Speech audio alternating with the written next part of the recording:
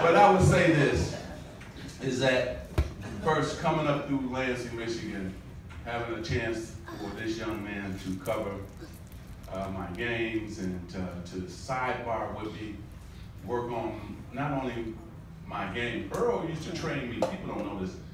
I used to come home. I used to run with Earl. Nice.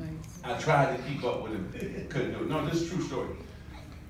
I would go maybe two, three miles. Earl would go like 10 miles. Wow, Earl, right. Earl was outstanding.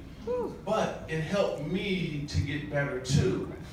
And so the year I, my first year I won the MVP, it was because he helped me. We were on that track, I tell you, over and over and over again. So I got to give him some credit. All So I also want to give him credit for helping me become a better man, and a better person. Kenny, you did the same thing. Cleveland, Cleveland, Tiny, thank you. All everybody came together to do that. So I owe Earl so much. Every time I came home, man, you gotta do my show. No problem. Let's go do the show, knock it out. And so it hurt all of us Yeah. because when he passed away, uh, a piece of all of us went with him.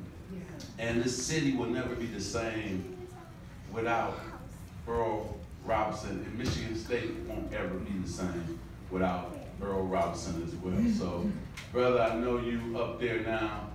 Got the mic, you told God you're gonna take over all the radio, TV stuff. Earl, Earl will take over, you know. But that's the true blessing. And so, Jack, again, thank you because you don't even realize all how much this man meant. And it's, it's a lot of people who are not here that he touched in this city, and other cities as well. And uh, God is so good to have put him in all of our Yes. lives, right? All of our lives. Yes. So if you don't mind, because I gotta go, I have a family reunion going on, but I do want to say a prayer right quick. Is that okay? Is that okay? Yes, yes. Oh, Heavenly Father. Thank you. Thank you for allowing us to live to see another day. Thank you for this truly great event to honor one of your own, an angel who you sent down here to bless all of us, to show us what a professional is all about.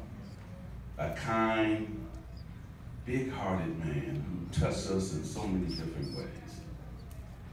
He is a giant in all our lives.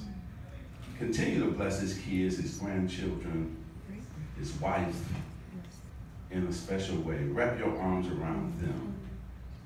But continue his legacy. And that's what we're doing today.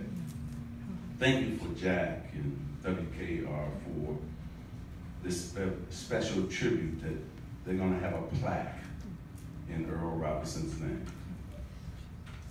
Thank you for allowing us all to participate today in honoring our friend Earl. In Jesus' name we pray. Amen. Amen. Amen. Amen.